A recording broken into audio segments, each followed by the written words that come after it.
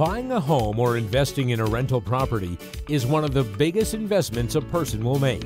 As part of Grandeur's commitment to customer service, weekly progress pictures are taken and sent to each customer to help them stay connected to their project after they have signed the contract.